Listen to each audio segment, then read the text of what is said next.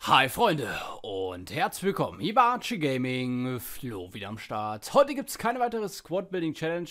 Es ist Donnerstag, es ist Rewards Day und wie jede Woche Donnerstag wollen wir uns um meine Foot Champions und um meine Division Rival Rewards kümmern. Ihr könnt auch schon sehen, einmal die Foot-Zentrale, wir haben zwei Sets in der Foot-Zentrale und im Shop sind auch schon acht Sets am Start. Das heißt, wir haben heute 10 Bonus-Sets, die mit am Start sind. Insofern gibt es heute ein großes, großes Pack-Opening. Ja, und heute an diesem Donnerstag gibt es auch noch zwei andere Videos, dann später und zwar im Verlaufe des Abends. Und zwar kümmern wir uns dann einmal um Foot-Tag 7 oder Foot-Miss-Tag 7 besser gesagt. Und dann auch später um die Top-Partien, auch die jede Woche Donnerstag hier auf dem Kanal. Ja, und falls ihr generell keinen Tag mehr an SPCs verpassen wollt, Freitag geht es weiter, Samstag, Sonntag täglicher SPC-Content ist hier am Start. Und ihr neu seid, dann lasst gerne auf kostenfreie Basis ein Abo da. Ja, Road to 35, sogar 40.000 Abonnenten steht an. Euer Support ist momentan mega. Fettes Dankeschön geht raus an euch. Zerstört den Like-Button. 300 Likes gebe ich heute wieder als C raus. Ich weiß, dass wir das schaffen können. Insofern zeigt Support. Lasst ein Like da. Geht ganz, ganz schnell. Und damit würde ich sagen, starten wir rein. Heute an diesem Donnerstag am Rewards Day und hoffen natürlich auf Packlack. Insofern Hashtag Packlack schon mal in die Kommentare. Und in dem Sinne würde ich sagen, legen wir auch schon direkt, aber wirklich direkt los. Ich würde sagen, wir gehen direkt rein in den Shop, bevor wir in die Foot äh, Champions und in die Division Rival Awards reingehen.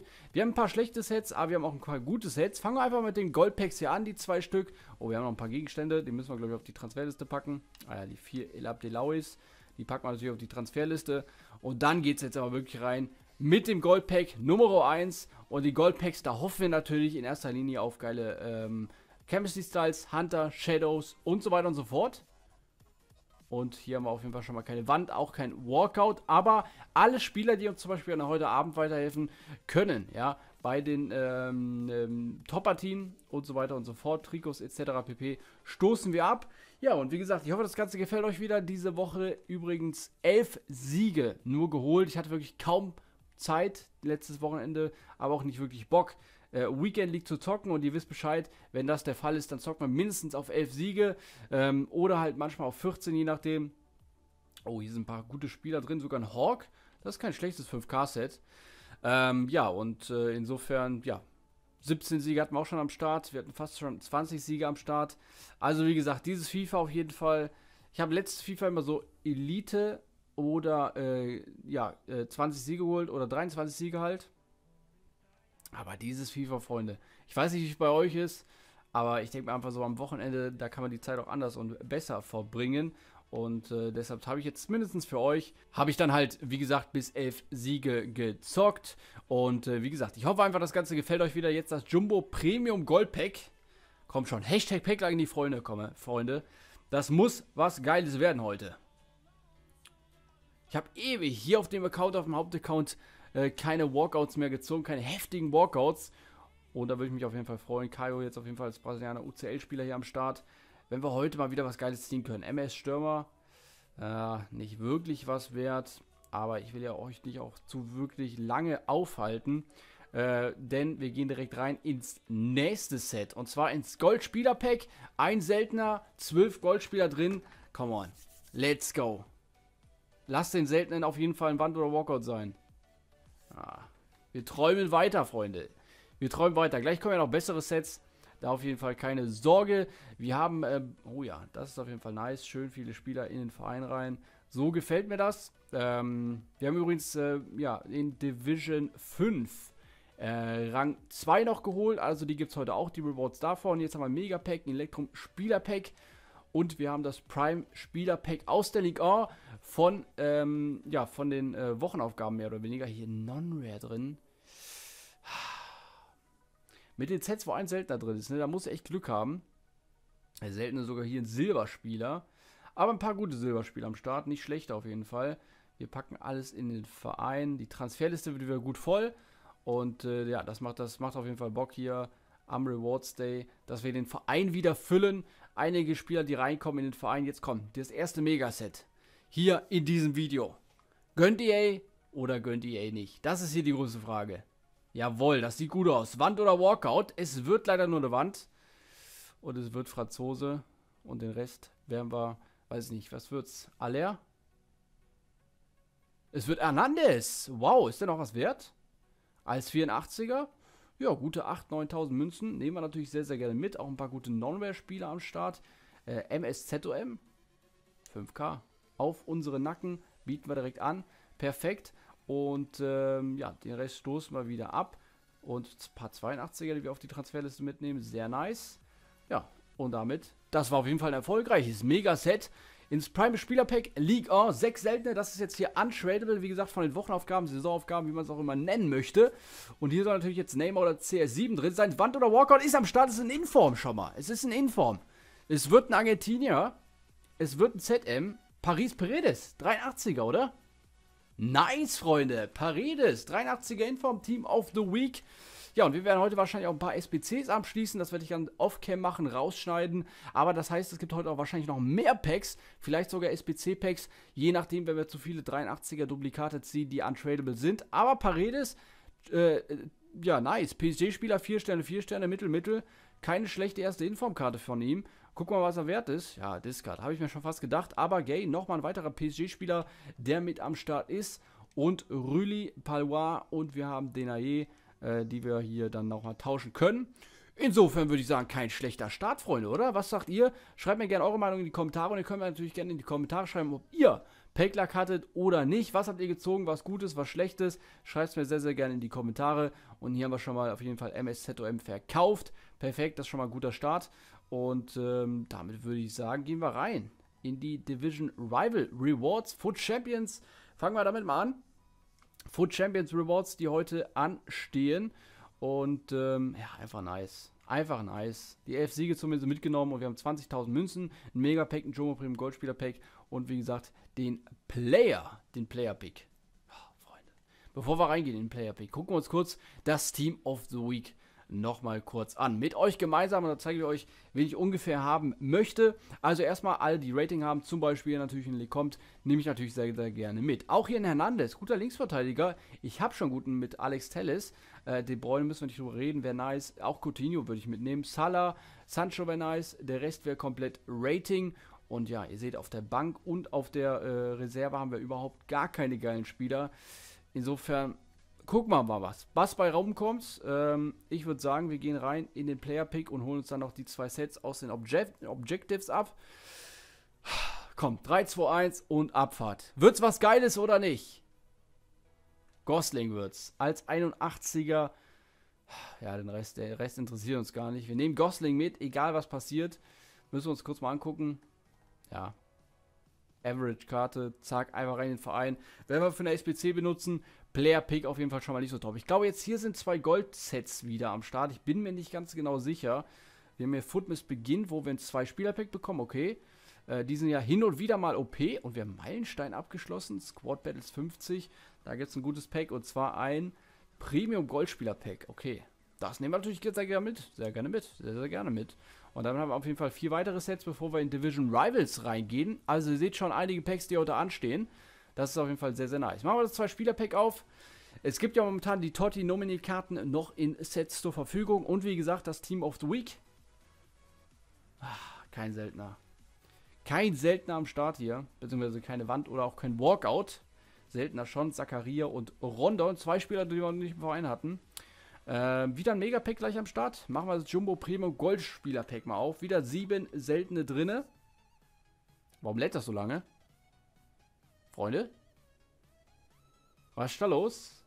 Ah, da passiert was. Es wird schwarz. Wieso, da, wieso laut, lädt das so ewig? Freunde. was ist hier los? Ja. Ja, moin. Guckt euch mal die... Oh ja, ist eine Wand. Oh, oh, oh mein Gott! Nein. Nein, nein. Linksverteidiger? Oh. Freunde, ich habe kurz einen Schock ins Lebens gehabt. Ich dachte mir, wieso lädt das so ewig? Weil Messi drin ist oder was? Sag ja, Fico. Ah, ich habe es eben noch gesagt, Totti nominierten sind in Sets drinne. Und da war auf jeden Fall die Bestätigung. Den ersten Totti nominierte Karte aus einem Random Pack, was ewig geladen hat. Ähm, ja, ich habe wahrscheinlich einiges rausgeschnitten. Hier gefühlte 5 Minuten gewartet, bis der Black Screen komplett aufgehellt ist. Aber ihr seht, es, es lädt immer noch. Was ist denn hier los gerade in FIFA? Tagliafico ist am Start, Gaia Westergaard, und wir haben F11 Doppelte. Freunde, Freunde, Freunde. Oh, die sind ja tradable. Nice, die sind tradable. Das gefällt mir schon mal sehr, sehr gut. Wir packen alles hoch auf die Transferliste. Ich dachte, ich muss jetzt hier sitzen und äh, alles tauschen. Premium Goldspieler Pack, nächstes Set. Dauert das auch wieder so lange, bis sich das öffnet. Ich wollte schon sagen, sonst hätte ich FIFA neu gestartet. Da sieht es auch wieder ordentlich aus. Ah. Leider keine Wand, auch kein Walkout. Nächstes, nächstes Set. Nehmen wir direkt einfach mit. Freunde, der hat so ewig geladen. Ich dachte mir schon so, ja moin, was ist denn hier los? Was ist denn hier los, dachte ich mir. Ähm, und dann kommt da echt so ein Walkout bei raus. Und ich denke mir so, oh yes. Das wäre es natürlich jetzt, das wäre heftig gewesen. Das wäre sehr, mehr als heftig gewesen. So, was haben wir am Start? Letztes Mega-Set. Aus den Division, nicht aus den Division Rivals Rewards, sondern aus den Foot Champions Rewards. Division Rival Rewards kommen gleich noch. Und dann nehmen wir vielleicht Tradable oder Untradable. Oh, Champions League Karte immerhin. Thematisch passt's. Wir ziehen Van der Beek, 81er. Kein schlechtes Rating, der ist seltener. Nehme ich sehr, sehr, sehr, sehr, gerne mit. Wenn wieder die Champions League ansteht im Februar, wird er bestimmt gebraucht. ZMZOM liegen ein paar, die sich verkaufen. Ein paar Stadien, Trikots stoßen wir wieder ab. Rashika, äh, Onasi und das Wappen bringt nichts. Das können wir abstoßen. 230 Münzen nehmen wir mit. Das war jetzt nicht so ein geiles Mega-Set, wenn wir ehrlich sind. Aber die nächsten Sets stehen an. Division Rivals. Ah, komm schon, Freunde. Freunde, Freunde, Freunde. 44.000 Münzen, nein. Wir nehmen, glaube ich, Untradable Sets mit. Und, äh, ja, da gibt es keine zwei Optionen. Es gibt nur die Untradable Option. Ja, Rang 2 und äh, Megapacks und zwei seltene Spielerpacks. Es wäre ein Träumchen. Foot Champions, wollen wir uns da erstmal qualifizieren? Ich würde sagen, ja, das machen wir auf jeden Fall. Ähm, gehen äh, rein und einmal hier auf die Qualifikation. Zugang jetzt einlösen. Perfekt. Und dann gibt es, wie gesagt, nächste Woche Donnerstag weitere ähm, Rewards, wie jede Woche Donnerstag. Jetzt hier zwei Megapacks und zwei seltene Spielerpacks. Komm, schaut, Freunde. Guter Abschluss des Videos. Die, das, ist die, das ist die Frage. Seltene Spielerpack Nummer 1. Und danach machen wir Megapack auf, dann wieder seltenes Spielerpack. Ja, das sieht schon mal gut aus. Wand oder Walkout? Chile, Arangis, Arangis, Arangis, Arangis. Noch nicht mal Vidal oder irgendwie sowas, Freunde. Nee. EA denkt sich, wir geben uns einen Arangis. Gasol. Ja, gibt Besseres. Ah, was war das für ein seltenes Spielerpack? Unfassbar. Megapacks. Gönnen die immerhin mal wieder heute. Komm schon. Zwei haben wir schon aufgemacht und das lädt wieder so ewig, Freunde. Es lädt wieder so ewig. Jetzt ist natürlich die Frage, ob da ein Wand oder ein Walkout wieder drin ist. Totti Nomini-Karte? Oder wieso lädt es so ewig? Ah, Freunde, wir sehen uns gleich wieder, wenn sich das Pack mal öffnet. Ja, da wird was schwarz. Komm schon, EA, es sieht gut aus. Wand oder Walkout, mal wieder am Start. Es wird wieder ein Walkout, es wird ein UCL-Spieler. Normal UCL, aber diesmal Handanovic. Ja, nee. 85, aber, hä? Ah ne, die sind ja nicht mal plus 1. 84 Gelicic. Aber schon wieder ein Walkout und es hat ewig geladen. Sag mal, da muss doch was dran sein. Was ist denn da los? Ich glaube, es ist jetzt bei je... Oh, Gosling noch am Start. Ja, Freunde. Wir haben ihn jetzt noch als Normal in Form. Das ist doch, das ist gar, gar nicht mal so schlecht. Nehme ich sehr, sehr gerne mit. So, das stoßen wir alles ab. Ja, also Freunde, wenn jetzt hier bei jedem Walkout das so ewig lädt, äh, ja, da weiß ich nicht, was ich dazu sagen soll. Also, komm, nächstes Megaset. Lädst du wieder so lange? Nee, diesmal geht's direkt auf. Heißt es, da ist nichts drin oder ist da was drin? Sieht nicht gut aus. Das sieht nicht gut aus. Keine Wand, kein Walkout. Also da scheint auf jeden Fall irgendwas hinter zu sein. Äh, wenn das so ewig lädt. Äh, sehr, sehr komisch. Roussillon AK drin. Ein paar Tiefwittes-Karten nehmen wir mal gerne mit. Wappen und so weiter stoße ich gerne ab. Ihr kennt mich. Und äh, hier haben wir anscheinend nicht mehr viel tradable. Äh, so wie es aussieht. Was für mich heißt theoretisch wieder, wenn ich hier nicht vieles verkaufe und benutze, dass ich auf jeden Fall nächste Woche wieder Tradable äh, Rewards mitnehme. Das steht auf jeden Fall fest. Ähm, ihr seht es, was hier alles untradable ist. Und der Rest kommt in den Verein. Einiges jetzt hier abgestoßen für 0 Münzen. Aber Seltenes Spielerpack zum Abschluss. Komm schon, Freunde. Komm schon, Freunde. Let's go. Ja, das sieht gut aus. Wand oder Walkout ist wieder am Start. Es wird leider nur wieder eine Wand. Was sind das für schlechte seltene Spielerpacks? Spanien ist immer schlecht. Stürmer. Costa. Morata. Morata, 83. Was waren das für sel schlechte seltene Spielerpacks, oder, Freunde? Wow. Einfach nur wow. Antunes, Fafan. Ja, und das Beste war tatsächlich die Team auch Duig-Spieler. Ähm, ein paar 83er. Die Walkouts, die wir hatten, Totti Nomini ähm, und äh, wie jetzt eben äh, den Ilicic. Ja, und damit haben wir die Transferliste wieder voll. 89 Objekte sind drauf. Ja, und damit soll es das gewesen sein. Äh, mit den heutigen äh, Division Rivals und Foot Champions Rewards am Rewards Day. Ich hoffe, wir sehen uns auf jeden Fall nachher wieder an Tag 7 der Footmiss Promo und dann noch äh, den äh, späteren Upload bei den Top-Partien. Also heute drei Videos am Start. Vollgepackter Tag. In dem Sinne würde ich sagen, haut rein. Wenn ihr neu seid, lasst auf jeden Fall auf kostenfreie Basis ein Abo da. Gerne die Glocke aktivieren, ein Like da lassen und dann sehen wir uns auf jeden Fall beim nächsten Video wieder. Euer Flo von Archie Gaming. Ciao Leute.